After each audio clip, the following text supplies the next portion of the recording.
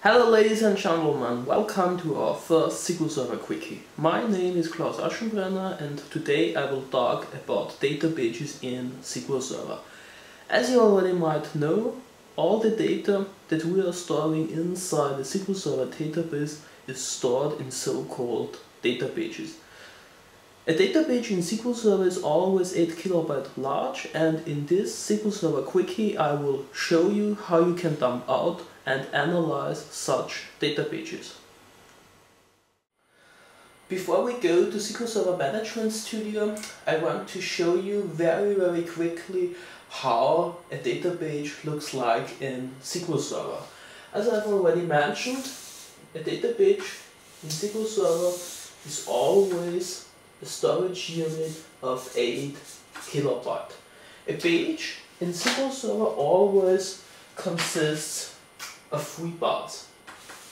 The first part is the so-called page header and the page header in SQL Server is always 96 bytes long. Directly after the page header the payload part follows and the payload is the part where SQL Server stores all our records. And finally at the end of our data page, SQL Server stores the so-called row offset array. Inside the row offset array, SQL Server stores for each record the location where the corresponding record is physically stored onto our data page. For each record we need 2 bytes inside the row offset array and that 2 byte long pointer points to the corresponding location where our record is stored inside our data page. Okay, so with that information in our hand, we will go now to SQL Server Management Studio and I will show you how you can dump out pages and analyze those pages within SQL Server Management Studio.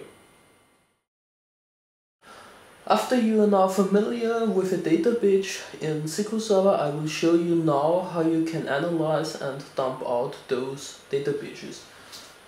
So the first step, I'm creating a simple database called internal storage format and inside that database I'm creating a new table called customers. As you can see from the table definition, we're just using fixed length data types like character, integer and date time.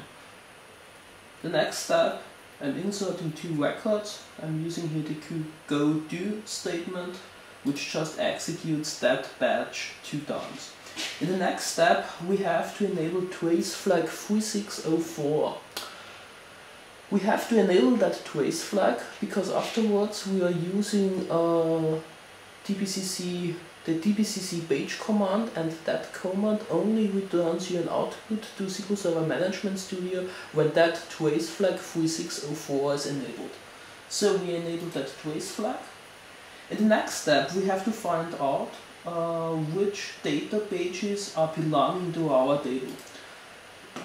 For that we are using the dbcc IND command. dbcc IND stands for dbcc index and it returns for a specific table inside a specific database all the pages which are belonging to that table. As you can see here from the output, our table customers has two pages.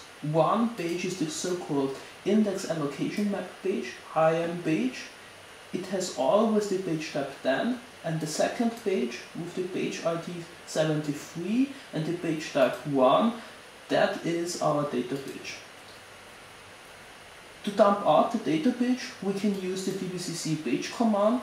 You just supply the name of the database, the file ID, in our case file ID 1, the page ID 73 which you can see from here and finally a dump option. The dump option just specifies in which format DBCC page returns you the page dump. So when we are executing that statement with the dump option of 3 we are getting back our result. The first step we can see our page header As I have already said earlier, page header in SQL Server is always 96 bytes long. And after the page header, in slot 0, we have our first record. First record always starts directly after the page header.